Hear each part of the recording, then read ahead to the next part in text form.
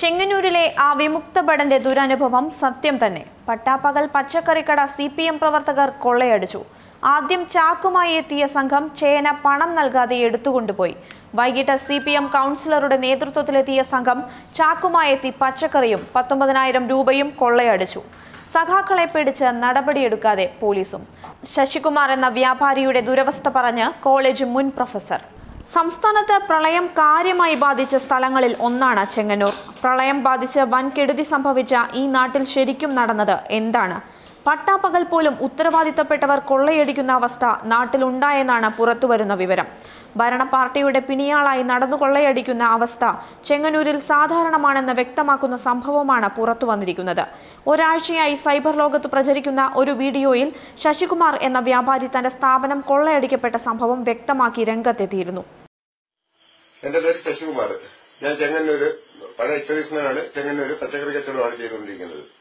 പിന്നെ ചെങ്ങന്നൂര് പ്രളയം ഉണ്ടാകുന്ന സമയത്ത് ആ സമയത്ത് തന്നെ എന്റെ കട കുത്തിപ്പൊളിച്ച് പത്ത് നാൽപ്പത് ചാക്ക് സവാള ഏകദേശം നാല് ചാക്ക് കൊച്ചുള്ളി നാല് ചാക്ക് വെളുത്തുള്ളി അങ്ങനെ കൈ കണ്ടത് മുഴുവൻ മാറ്റിക്കൊണ്ട് പോയി.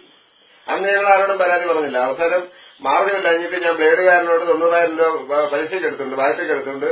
ആണ് ഇപ്പൊ രണ്ടാമത് കട തുടങ്ങിയത്. കട തുടങ്ങിയത് മൂന്ന് ദിവസമേ മൂന്ന് ദിവസമായ ഒരു ഇന്ന് പിന്നെ ആദ്യം നാലുമണി ആയപ്പം സി പി എമ്മിന്റെ മൂന്നാൽ പേരവിടെ വന്ന് പിന്നെ ചേന ചോദിച്ചു. ചേന ചോദിച്ചപ്പോ ഞാൻ പറഞ്ഞു ചേനയ്ക്ക് ഭയങ്കര വിലയാണ്. അതുകൊണ്ട് മുതലാകത്തില്ല. നിങ്ങൾ വേറെ എവിടെ എടുക്കുന്നു പറഞ്ഞാൽ ഞങ്ങൾ കാശും തരാനല്ല. ചേന ഞാൻ പറഞ്ഞു തന്നെത്താനെ. എന്റെ ഒരു അഞ്ചെട്ട് കിലോ ചേന എടുക്കുന്ന പോയി. എട്ട് കിലോ ചേന എന്ന് പറയുമ്പോൾ നിങ്ങൾക്ക് അറിയാം നിങ്ങൾ മാർക്കറ്റിലെ വില അന്വേഷിച്ചാൽ മതി. നിങ്ങൾക്ക് അറിയാം എന്താ വില എന്നുള്ളത്. അത് കഴിഞ്ഞ് ഞാൻ കരുതിയ കൂടെ നിൽക്കുന്ന പയ്യനോട് ഞാൻ പറഞ്ഞ പോയെങ്കിൽ പോട്ടെ അതിനെയും മുടിയെ കൊണ്ട് പിന്നെ എങ്ങനെയും ആയിക്കോട്ടെ. അതങ്ങ് പോട്ടെ നീ മിണ്ടണ്ടെന്ന് പറഞ്ഞു. മിണ്ടണ്ടെന്ന് പറഞ്ഞ് വൈകിട്ട് കട അടിക്കുന്ന സമയത്താണ് കട അടിക്കാൻ തുടങ്ങിക്കൊണ്ട് ഏഴെട്ട് പേര് ഇങ്ങോട്ട് വന്നിട്ട് പ്ലാസ്റ്റിക് ചാക്ക് ഒരു പത്ത് ഇരുപത് ചാക്ക് കൊണ്ടുവന്നിട്ട് കടയ്ക്കകത്ത് കണ്ടത് മുഴുവൻ മാരിക്കയറ്റി ഈ വീഡിയോ കണ്ട് എന്താണ് വാസ്തവം എന്ന ചോദ്യം വിവിധ കോണുകളിൽ നിന്നും ഉയരുകയുണ്ടായി. പ്രളയക്കെടുതിക്കിടെയാണ് ക്യാമ്പിലേക്കെന്ന് പറഞ്ഞെത്തിയ സി പി എം പ്രവർത്തകർ പച്ചക്കറി പണം നൽകാതെ ആദ്യം എടുത്തുകൊണ്ടുപോയത്. പിന്നാലെ കൗൺസിലർ അടക്കമുള്ള സംഘമെത്തി ചാക്കുകളിലാക്കി സാധനങ്ങൾ കൊള്ളയടിക്കുകയും ചെയ്തുവെന്നാണ് ശശികുമാർ വീഡിയോയിൽ പറഞ്ഞിരിക്കുന്നത്. ഇതേക്കുറിച്ച് പരാതി പറയാൻ ക്യാമ്പിലെത്തിയപ്പോൾ അവിടെ വെച്ച് തന്നെ മർദ്ദിക്കാൻ ശ്രമിച്ചുവെന്നും വിമുക്ത ഭടൻ കൂടിയായ ശശികുമാർ വീഡിയോയിൽ വ്യക്തമാക്കുന്നു. മുനിസിപ്പൽ ചെയർമാന്റെയും പോലീസിന്റെയും ശ്രദ്ധയിൽപ്പെടുത്തിയിട്ടും കാര്യമുണ്ടായില്ലെന്നാണ് വ്യാപാരി പറയുന്നത്.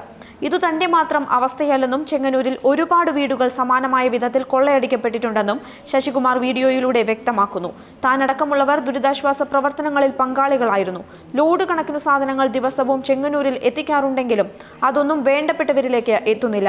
മുൻ ബിസ്ക്കറ്റ് കമ്പനിയുടെ ഡീലർ കൂടിയായ സി പി എം നേതാവ് സാധനങ്ങൾ തരപ്പെടുത്തി മറിച്ചു വിൽക്കുന്നു എന്ന ആക്ഷേപവും വ്യാപാരി ഉന്നയിച്ചിരുന്നു. പ്രളയത്തിന്റെ മറവിൽ സി പി എമ്മുകാർ കാശുണ്ടാക്കാൻ ഇറങ്ങിയിരിക്കുകയാണെന്നുമായിരുന്നു ആരോപണം. ഈ തുറന്നു പറച്ചിലിന്റെ പേരിൽ തനിക്ക് നാളെ കച്ചവടം ചെയ്യാൻ സാധിക്കുമോ എന്ന കാര്യം അറിയില്ല. താൻ പറയുന്നത് കേട്ട് തന്റെ കട പൊളിച്ചു കൊണ്ടുപോകാൻ പോലും സാധ്യതയുണ്ട്. എങ്കിലും താൻ സത്യം പറഞ്ഞതുകൊണ്ട് കച്ചവടം തുടരാൻ സാധിക്കാത്ത അവസ്ഥയുണ്ടെങ്കിൽ അങ്ങനെയാകട്ടെയെന്നും ശശികുമാർ വീഡിയോയിൽ പറയുന്നു. ശശികുമാർ ഉന്നയിച്ച ആരോപണങ്ങൾ സത്യമാണോ? ഇങ്ങനെയൊക്കെ കേരളീയർ ചെയ്യുമോ? എന്നുപോലും സംശയം പ്രകടിപ്പിച്ച് പലരും രംഗത്തു വന്നിരുന്നു. ഇതിനിടെയാണ് സംഭവത്തിന്റെ വാസ്തവം തേടി കോതമംഗലം മാർ അത്തനാസിയോസ് കോളേജിലെ മുൻ പ്രൊഫസർ പോൾ മാത്യു രംഗത്തിറങ്ങിയിരിക്കുന്നത്. അദ്ദേഹം നടത്തിയ അന്വേഷണത്തിൽ സംഭവം സത്യമാണെന്നും ഉത്രാട ദിനത്തിൽ സി പ്രവർത്തകർ പച്ചക്കറിക്കട കൊള്ളയടിച്ചത് സത്യമാണെന്നും ബോധ്യമായി അദ്ദേഹം ഫേസ്ബുക്കിൽ പോസ്റ്റിടുകയും ചെയ്തിട്ടുണ്ട്. ന്യൂസ് ഡെസ്ക് മറുനാടൻ ടി